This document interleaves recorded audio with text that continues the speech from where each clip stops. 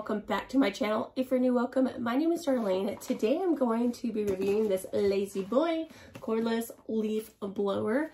Let's go ahead and get right into this. So this is how it comes boxed. I do like the fact that it is cordless. So right here is probably the battery pack. Let's see if I'm right. So it's the battery charger, which is really nice that it did come with that. You have this right here, which is one of the tubings for it.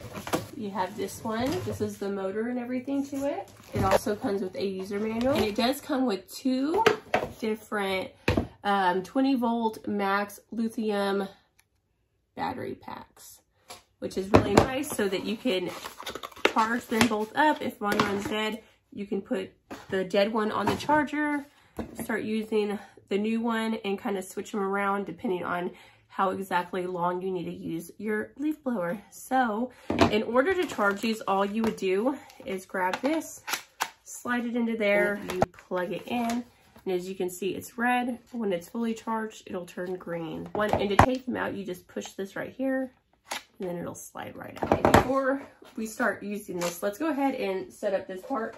So you want to put this part, you can see where it kind of has the hole parts.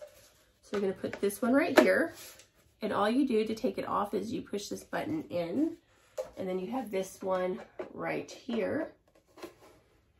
And the awesome thing is it is collapsible. Um, you can take these off so that it's easier storage and you're not taking a bunch of space up. Then you'll slide your battery pack into here.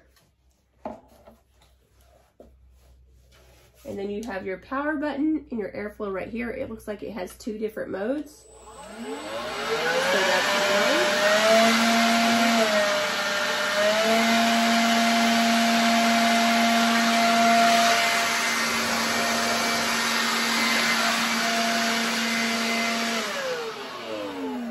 yes, let's go ahead and see what it looks like in use.